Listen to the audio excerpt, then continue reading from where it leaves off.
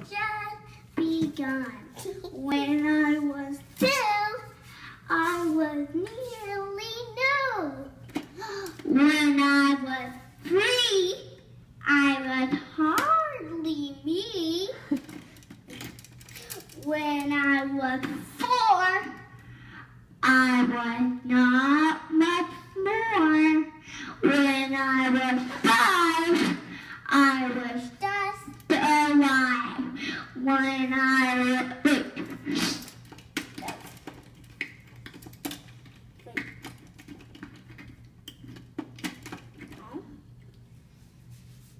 So now I am six.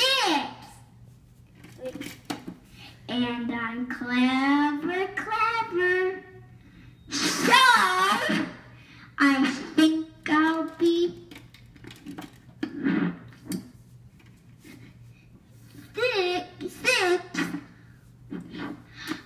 Forever and ever. Yeah!